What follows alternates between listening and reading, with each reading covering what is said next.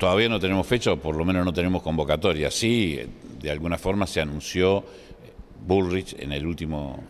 Consejo Federal de Ministros de Cultura y Educación, él ya como ministro de la ciudad, pero obviamente designado para el orden nacional, anunció que inmediatamente después de asumido convocaría a los gremios eh, precisamente para empezar las negociaciones eh, de la paritaria. Eh, bueno, él se supone que va a asumir el 10 de diciembre, nos convocará el 11, el 12,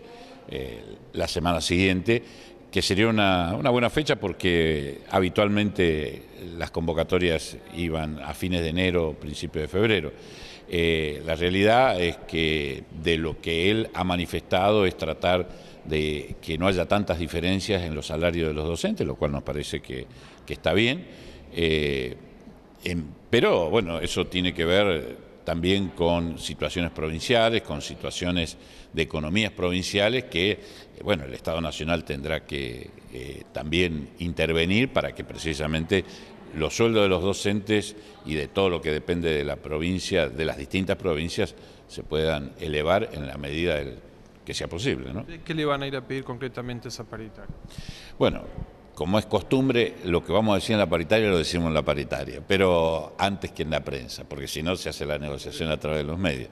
Eh, pero indudablemente que eh, tendremos que ver también cuáles son las otras medidas económicas, si hay devaluación, si hay incremento en las tarifas, en fin, eh, ese tipo de cosas que indudablemente van a significar o un recorte en el salario o este, mayores costos que significan una pérdida del poder adquisitivo de un salario nominal que no se estira en tanto y en cuanto, este, bueno, hasta tanto se logren nuevos, nuevas cifras, este, va quedando cada vez más chiquito. ¿Y qué significaría ese pacto económico-social del que habla Triaca? Si es un techo para las paritarias, ayer habló Macri con Moyano y, dijo de un 28%, eh, si ese es el techo para la paritaria,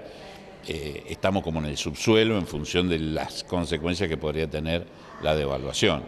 Este, porque una devaluación qué sé yo, del 30% en, la paridad cambiaria es, un monto significativo, importante, y entonces creemos que, bueno, habrá que ver todos esos datos para poder decir si podemos acordar un salario y cuándo, ¿no?